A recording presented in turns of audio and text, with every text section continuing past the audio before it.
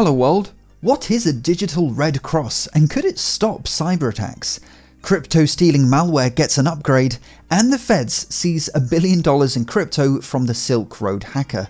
That's all coming up in today's roundup of cybersecurity tech news. Everyone knows what the Red Cross is. In wartime, it's painted on the sides of trucks, tents, and people, all to let your enemy know that these are medics, so please don't shoot them. Anything bearing this symbol is protected under the Geneva Convention, or at least that's the idea. But now, medical services have a new threat they need to deal with cyber warfare and cybercrime. And I don't imagine painting red crosses on the back of laptops is going to deter hackers. Whilst many cybercriminals do pledge not to target healthcare organizations, malware doesn't necessarily know who it's infecting and will just lock up the computer of whoever is unfortunate enough to download it. So a new report has been published on digitalising the Red Cross, as in how can a computer let malware know that it's medical related and to please leave it alone. It seems like a digital Red Cross would be a relatively easy thing to implement. I mean, similar things already exist. Say for example, you want to let Google know that you'd rather they didn't crawl your website. You'd just create a robots.txt file in the root directory, inside which you mark it as disallowed. So there could be something similar in this case, redcross.txt the very existence of which would let hackers know that the computer is medical related. I mean, sure, anyone could have used this by creating the TXT on their own computer, but anyone can wear an armband, so this isn't a new problem. But there is another major downside with this solution, and it's not what you might think. If an attacker hacks a computer and tries to check for the existence of this file, the victim computer could detect this access attempt and would therefore know it's under attack. This would mean that pretty much all organizations, regardless of whether they're medical related, would keep tabs on whether the existence of this file is being checked for. If it is, then they'd know they're being attacked and would lock down their systems.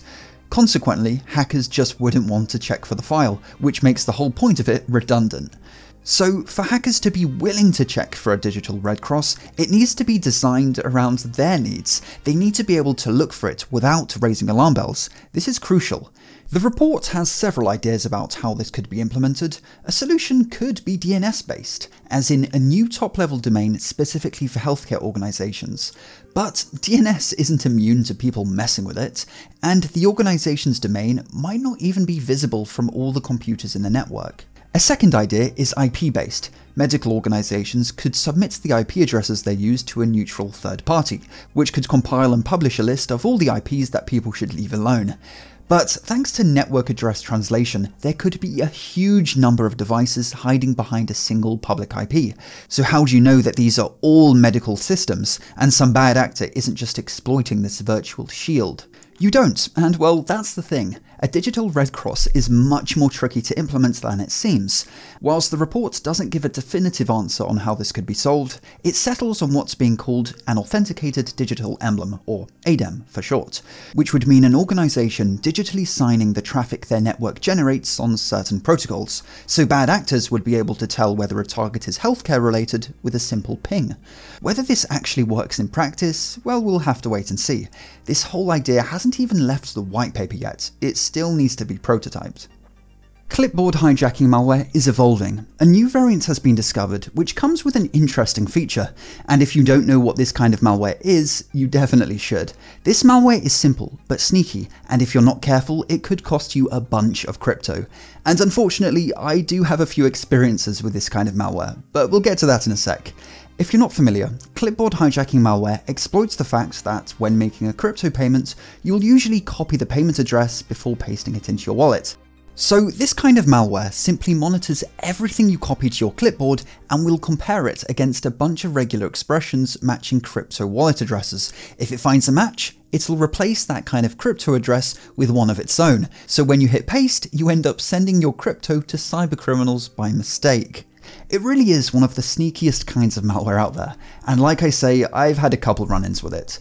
So I run an online store, Maltronics.com, where I sell various pen testing devices, and I accept payments in crypto. I've had numerous instances of confused and sometimes angry customers emailing me to say they paid for their order, but the payments page just doesn't acknowledge it. In one case, a customer told me, I think there's something wrong with your Coinbase payments webpage. When you click copy the ETH address, the address is different every time. A clear sign that this person's computer is infected. They then listed a bunch of these addresses that appeared on their clipboard each time they hit copy. And by searching these addresses on Etherscan, you'll see they've received thousands of dollars in payments. There's even comments from people saying they sent their crypto to this address by mistake, not realizing that their mishap was actually the result of malware.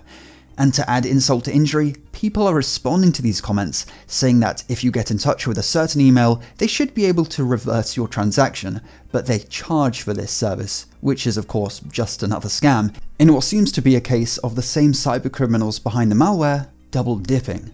However, clipboard hijacking malware is relatively easy to counter. After you've pasted an address, just make sure the last few characters match the address you've copied, and there you go, job done. But new malware, which goes by the name Laplas, changes this. This malware is similar to any other malware. It's sold on hacker forums via a subscription of $59 per month. In return, cybercriminals get a web interface where they can generate an executable, view their infections, as well as their crypto wallets. But it has a unique feature which has made it increasingly popular amongst cybercriminals. Laplas makes sure to replace wallet addresses with an address where the last few characters are identical, dramatically increasing the chance that even if you checked these last few characters, you wouldn't notice that it's a completely different address. And this is a significant upgrade for cybercriminals. But exactly how the developers implemented this feature is still a bit of a mystery.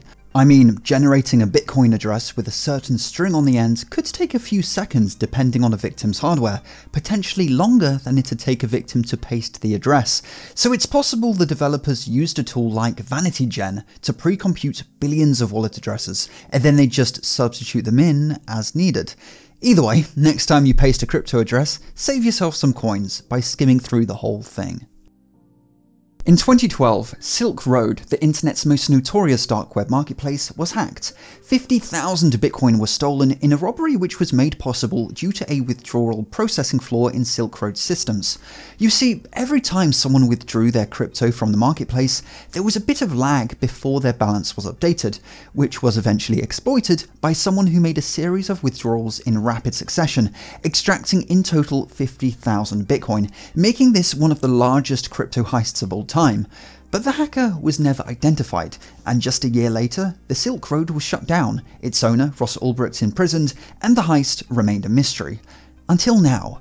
The DOJ, using what they describe as state-of-the-art cryptocurrency tracing and good old-fashioned police work, have identified and arrested the hacker, one James Zhong, and you might be a little confused as to why the DOJ are spending their time and resources investigating decade-old instances of criminal-on-criminal hacks. Well, at the time of the heist, the haul was only worth a few hundred thousand dollars. I say only because in September of 2012, Bitcoin was at $12 a coin. However, things have changed a bit since then, and the small fortune is now a much larger fortune, roughly a billion dollars, which will now presumably become the property of the government for them to auction off. James Zhong's home was raided, and as expected, the feds found a literal treasure trove. Stacks of cash, bars of silver and gold, even physical Bitcoin. These things are called Casascius coins. Coming in various denominations, they have a sticker you can peel off to reveal a private key. But of course, the big seizure was the 50,000 Bitcoin, which court documents say was found on a single board computer, which I'm just going to go ahead and assume was a Raspberry Pi as it isn't specified. I'm guessing this was the microSD card that the Pi was using to store the fortune. It was found in a popcorn tin, which was apparently hidden in his bathroom closet. Funnily enough, on the exact day of the raid, November 9th last year, Bitcoin was just hitting its all-time high of 68,000 USD, meaning this microSD card was worth in excess of $3 billion. But of course, Bitcoin has had a bit of a rough time since then, so the feds won't get quite so much for it at auction. And unfortunately for James Zhong, it's pretty hard to explain away a multi-billion dollar crypto fortune hidden in a bathroom closet, and so he's pled guilty on charges which could land him in prison for 20 years. This video was made possible by Linode, who are giving you a $100 60-day credit just for signing up. Linode is essentially your Swiss army knife for cloud computing. If it runs on Linux, it'll run on Linode. One great feature of Linode is their app marketplace, which makes it super easy to spin up servers with pre-configured software. Use Linode's Kali Linux app to quickly spin up a fresh instance of Kali. The installer makes it easy to configure the basics like VNC passwords, whether you want a desktop environment, and so on. Linode can run almost anything by providing all the tools a developer really needs at competitive prices. Use the link in the description now to claim your free $100. If you found this video interesting, make sure to hit that subscribe button and I'll see you in the next video. Have a good one.